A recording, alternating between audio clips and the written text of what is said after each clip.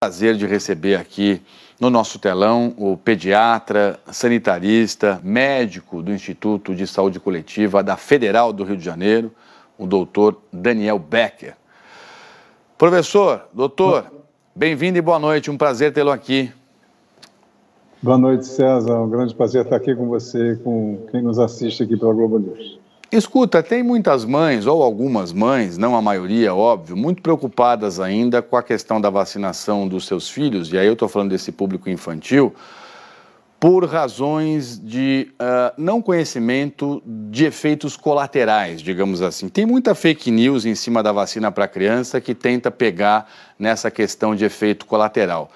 Talvez fosse muito importante já o senhor começar a falar disso aqui. Existem de fato efeitos colaterais? Quais são eles e qual é, obviamente, a segurança da vacina da Pfizer para essas crianças de 5 a 11 anos, professor? Bom, primeira coisa que a gente deve é, lembrar, César, como você falou, é que os antivacinas estão furiosos, estão disseminando fake news como nunca, é, ameaçando as pessoas Hoje houve um, não sei se vocês viram isso, um, um procedimento que provavelmente foi feito pela, pela deputada presidente da Comissão de Constituição e Justiça do, do, do, da Câmara de Deputados, que vazou dados dos pediatras, né? eu sou pediatra, são meus colegas, vazou dados é, pessoais desses, desses médicos que eram a favor da vacina. Ela trouxe três médicos anti-vacina para a audiência pública, a suposta audiência pública, que aquilo foi feito apenas para atrasar a vacinação. Enfim, existe uma associação entre anti-vacinas e a cúpula do governo Bolsonaro, os bolsonaristas, para eh, disseminar o terror na população e cons conseguir a fidelização desse, desse núcleo fanático para quem aparentemente o presidente governa. Né? Nós temos uma mistura triste de política de baixo calão com, é, com saúde, com saúde pública nesse país, que é lamentável. Isso acontece em outros países do mundo, mas aqui é terrível. A vacina da Pfizer é muito segura, todos os estudos indicam segurança plena dela, é claro, qualquer produto farmacêutico, todo qualquer produto farmacêutico, seja o que for, é, de um cosmético até uma vacina, até um antibiótico, vai ter sempre possibilidade de efeitos colaterais. Nós tomamos remédios no dia a dia muito mais perigosos do que a vacina que está sendo proposta para crianças. E ninguém fala nisso. Né? Existem sempre riscos. Esses riscos eles são avaliados na fase de testes. A vacina da Pfizer não é experimental, como os antivacinas fazem questão de disseminar. É uma vacina que foi aprovada é, no, na fase 3 e ela está em fase 4. O que quer dizer fase 4? Todos os medicamentos do mundo estão em fase 4. Uma vez que ele é aprovado, que ele é lançado no mercado, ele continua sendo observado para avaliar se vão surgir efeitos colaterais que não, podem não ter surgido na fase de estudos ainda. Isso é um, é um estudo permanente, digamos assim, que vai durar para sempre. Então, o que nós temos até agora, de 9 milhões de doses aplicadas, são 14 casos de, de miocardite, muito menos do que entre adolescentes e adultos jovens, de vez de 9 milhões de miocardite leve, enquanto que a Covid causa miocardite muito mais grave, causa uma síndrome de uma síndrome inflamatória multissistêmica em crianças muito mais grave, causou a morte de 300 e tantas, não tenho o número exato agora, 300 e tantas crianças desta idade, mais de 2.500 crianças de 0 a 18 anos. Enfim, não há dúvida que os riscos da vacina são irrisórios diante do risco da Covid, que a gente precisa proteger as nossas crianças, que são o último grupo vulnerável no Brasil nesse momento.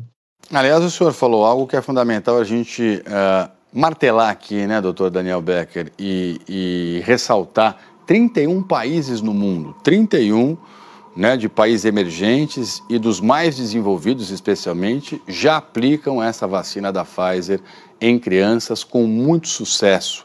Os benefícios são de fato estrondosos. Nós sabemos que a vacina vai chegar, infelizmente, com atraso aqui para o nosso público infantil e vem aí, portanto, a retomada das aulas já na virada de janeiro para fevereiro. Ou seja, muitas crianças, a grande maioria, vai voltar para as aulas nessa faixa de idade sem a primeira dose da vacina da Pfizer ainda.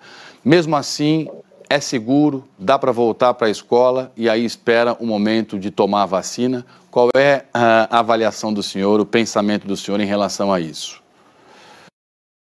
Olha, esse tema me é especialmente caro. Estou sorrindo aqui porque é, a gente fala em volta da escola desde outubro de 2020. Né? Eu criei uma campanha junto com os pediatras é, exortando a sociedade brasileira a não continuar cometendo crime, como o próprio é, editorial do Globo é, nomeou há pouco tempo atrás, cerca, cerca de três semanas, o pior crime cometido contra a infância dos últimos anos, que foi o fechamento das escolas enquanto tudo estava aberto no Brasil. Salões de cabeleireiro, academias, festas e casamentos, tudo estava aberto, menos shoppings, menos as escolas. Isso foi grotesco isso trouxe prejuízos incomensuráveis, isso trouxe é, provavelmente é, danos a essas crianças e à sociedade brasileira que só vão ser avaliados daqui a uma década, né, de tão graves que eles são.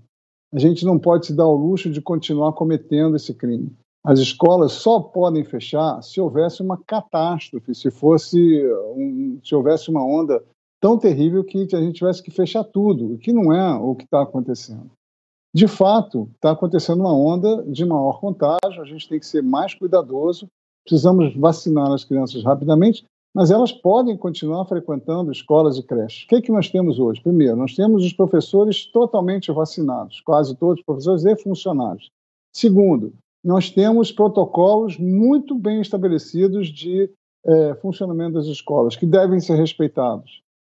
Ventilação, muito especialmente, salas bem ventiladas, uso da área, de, da área externa, uso máximo da área de ar livre, máscaras para professores. E aí, algo muito importante que eu gosto sempre de frisar, César: máscaras PFF2, aquelas máscaras melhores, que não são caras, que todas as escolas deveriam estar fornecendo para seu staff, para funcionários e professores, porque elas são mais seguras, inclusive para o transporte público. Ele já pode sair de casa com essa máscara e voltar para casa e o risco de contaminação cai enormemente. E também, claro, máscara para crianças, aquelas que podem usar. Crianças acima de dois anos já usam máscara muito bem. Eu até me surpreendi lá no começo. Eu achava que crianças abaixo de 4, 5 anos não usariam, elas usam. Claro que nas creches pequenininhos não vão poder usar, então a gente fica com o restante dos protocolos. Mas com esses protocolos, com uma variante que causa casos menos graves, aparentemente. Hoje eu tive a notícia de que mais de 90% dos casos que estão sendo detectados e testados aqui no Rio já são da Ômicron. Veja bem, 90 e tantos por cento. É, ela já dominou o Rio de Janeiro. Né?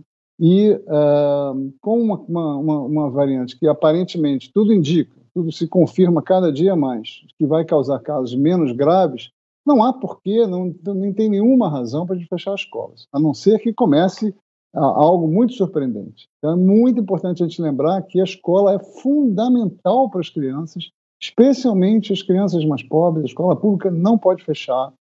Aqui no Rio é, houve um trabalho muito bonito de, inclusive, fornecimento de PFF2, de busca ativa das crianças para que elas voltassem à escola, enfim. A gente tem que aprender a valorizar isso definitivamente, inclusive investir nas escolas para que elas estejam preparadas para as próximas pandemias mas jamais fechar a escola sem que haja motivos muito, muito graves para isso. Doutor Daniel Becker, muito obrigado pela presença do senhor aqui. Sempre uma alegria recebê-lo e até uma próxima oportunidade. Boa noite e um ótimo trabalho. Boa noite, ainda dá para desejar um feliz ano novo para você e para todos que nos assistem aqui na Globo News. É verdade, feliz ano novo, muito obrigado, bem lembrado. Vamos aqui a um rápido intervalo e na volta, ó.